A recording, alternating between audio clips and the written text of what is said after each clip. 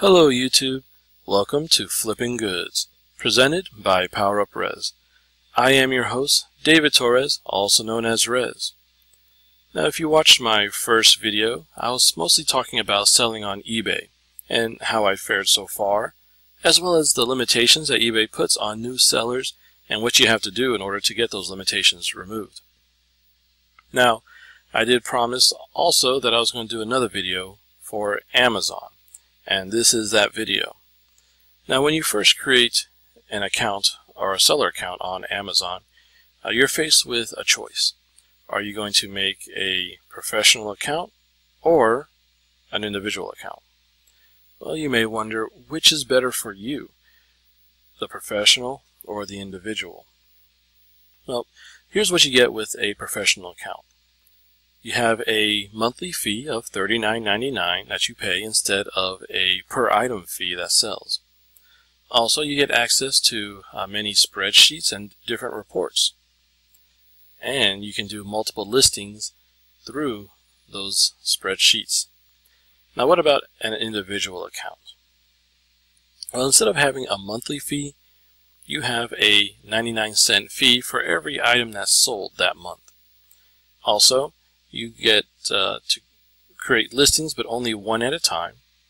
And you do get access to different tools in the Seller Central, such as listing management, order management, and several others as well. Now, when I first created my uh, seller account on Amazon, I created a professional account. But after uh, about three months, uh, so see, I first created my account in January of 2017, around the same time, I created my sell, uh, eBay selling account. I ended in March with my professional account and downgraded to an individual. Basically because I was paying $40 a month and I was only banking about $15 every month. So just by canceling the, uh, the, professional account and going to an individual account, I started making uh, more profit. Now, of course, as soon as it makes perfect sense to go back to a professional account, that is my plan. Alright, so now this is what I'm going to do is talk about uh, different uh, likes and dislikes that I have in selling on Amazon. Now, I'm going to start first with the likes. So Amazon has upfront fees, meaning when your item sells, Amazon goes ahead and takes their cut right off the top, and then they take the money that uh, is now yours and they put it into like a little, kind of like a little bank that Amazon's holding for your account that they'll pay out to you every two weeks to wherever you designate the payments to go to. I like this so much better than how eBay does it.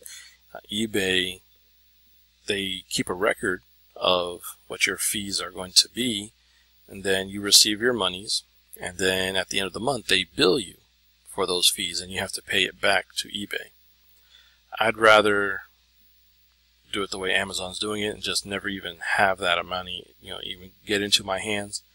I so much like the upfront charges or, you know, them taking their cut right off the top than me getting the money and then having to pay it right back at the end of the month. It's just so much easier for me as a seller because I have so many other things that I have to keep in mind it just seems like something nice that the, the company decided to do to benefit the sellers. Next is the ease of use. And what I mean by ease of use is mostly uh, listing and making adjustments to your listings. So this brings up the Amazon Seller app. And the Amazon Seller app is great. I love using it. It's so easy to use. The scanner, uh, the barcode scanner on it works much better than that of the eBay app. And I'm certain that has to do with the fact that Amazon created this seller app specifically for sellers. It's totally separate from the regular Amazon app, whereas eBay has one app for both buyers and sellers. So it's a little more difficult, it's a lot more coding that they have to go and do in order to make everything run smoothly. So Amazon can just really uh, focus on what's important to sellers and make it run so smooth that listing is as easy as scan the, the barcode of the item, hit the list button, say how many you have. You can put in any kind of uh, some kind of description like box has a dent, you know, open but not used, and then just say whether you want to sell it as merchant fulfilled, meaning you're going to ship it out once it sells, or fulfilled by Amazon, FBA, which means you're going to ship it to Amazon, and then once it sells, Amazon will ship it. Then you're done, depending on which route you took. The last thing I'm going to mention that is a like um, that I really, actually, I really love that Amazon does is they offer direct deposit. So, like I said, that Amazon has like a little bank for your seller account. And every time something sells, Amazon puts the money into that little bank. Of course, they take their cut right off the top. And at the end of two weeks, uh, they'll pay you that money that's available there. And you can choose whether you want to go directly into your bank account. You do not have to use PayPal like with eBay. eBay sends everything straight to PayPal, and then PayPal's taking out their own little percentage for processing the payments.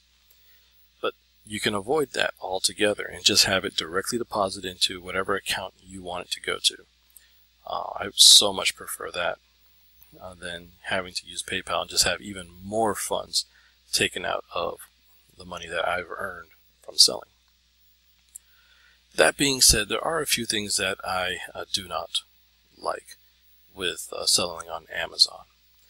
Now the first one is probably the one that you've heard the most about. You've watched other videos, you've definitely heard about the different restrictions and gated categories, brands, and items. Which basically means you have to prove that your the items that you're selling are legitimate and that you have the right to sell them on Amazon or Amazon will not allow you to do that. Now I like to say there's a difference between what's gated and what's just straight up restricted. Gated means you can turn in like I think it's three inventories uh, that shows the items that you that you're trying to sell that you either got it directly from the manufacturer or a wholesale um, seller. You know and you have to have I think it's three of those that you, that you have to submit to Amazon for review. Also um, you may have you know a letter or something from the manufacturer or the producer that says you have their permission to sell their items and that the items you have are legitimate. And of course they do this so that people aren't selling you know bootleg DVDs and stuff like that um, through Amazon, which of course is illegal. So it's a way that they protect themselves. And then there's those that are just straight up restricted, meaning the manufacturer said we want to be the only ones who sell this on Amazon. So they basically just try and shut it down for anyone else trying to sell their products, whether new or used. Uh, probably the most recent thing that um, has been restricted is that of audio CDs. I call them audio CDs, but still, um, you know, music CDs, so on and so forth. That many people who have been selling these for years who would normally have been grandfathered in to still be okay to selling these have been told by Amazon they cannot sell them any longer. So um, this became a category that has become restricted. And there's so many people that are being affected by it that um, you know they think that I've, I've seen different videos people saying that it looks like Amazon's rolling it out little by little to cover eventually cover everyone who's selling these uh, CDs. But we'll see if it if that continues to happen, if it'll happen to other categories, other items. It could restrict who can and cannot sell on Amazon. But for right now, um, it's just uh, it's moving, I guess, fairly slowly. So we can still find items out there to sell. The second thing that I'm mentioning here that I just do not like that Amazon is doing is starting after June 2016. If you create a new seller account with Amazon, you have to wait two weeks after whatever item that was purchased from you is delivered before the money becomes available to be paid out to you. Uh, it, so therefore, it can actually take over a month for you to receive the payments of something that you sold.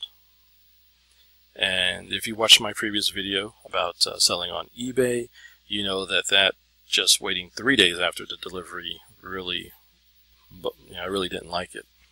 Two weeks now, and I've spoken to several different Amazon representatives.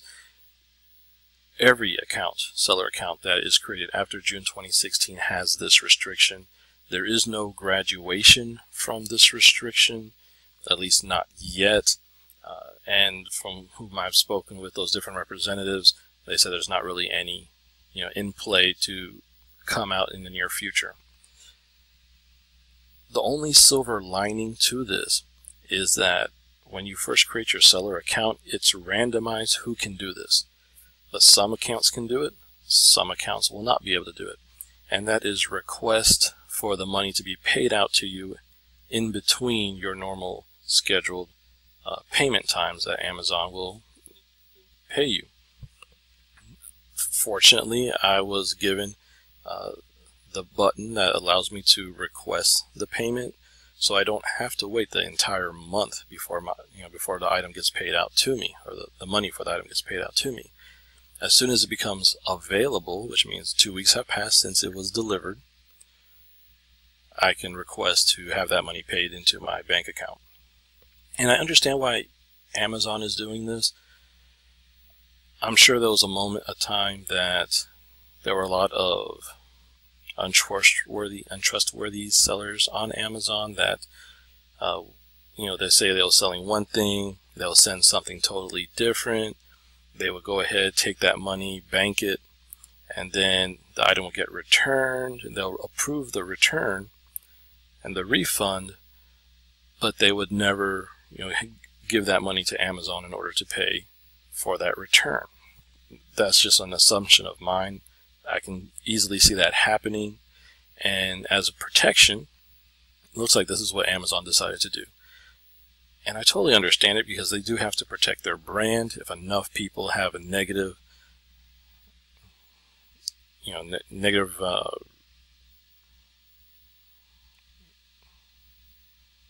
reaction or you know experience, negative experience on Amazon, they'll stop using it altogether, and you know Amazon will go the way of other websites have gone. So, like I said, I totally understand it, but I really don't like it.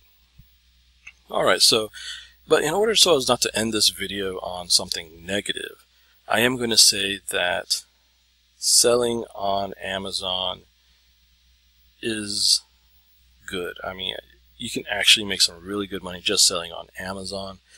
Um, some things you can sell on Amazon for twice, three times more than you would get it on eBay. Especially an older item, like a vintage item that's still in wrapping and boxed and is in perfect condition. You can really make bank on it selling it on Amazon. Um, so I, you know, even though I don't like those things, I still find it advantageous to be selling on Amazon. Alright, so uh, reaching the end of this video. So if you have any uh, comments, concerns, or not concerns, but comments, questions, suggestions, uh, feel free to fill them out into the comment section below. And I'll do my best to read them and you know respond to them as much as possible. Uh, also, you know, if you like this video, go ahead and click on that like button. Let me know that uh, you know the content that I'm putting out uh, you're enjoying and you know maybe I may you know if I'm not enjoying it so much I may change things up a little bit or uh, you know just more of the same uh, content also if uh, you want to see more videos like this hit that subscribe button as well and you'll be notified whenever I post a new video such as uh, a haul video that uh, things that I picked up as well as what sold uh, the previous month and I have one coming out in a little bit of what sold in June of 2017. Alright, and lastly, you just watched uh, this video from Flipping Goods presented by PowerUp Rez. I am Rez, and I'm wishing you a good day, and thanks for watching.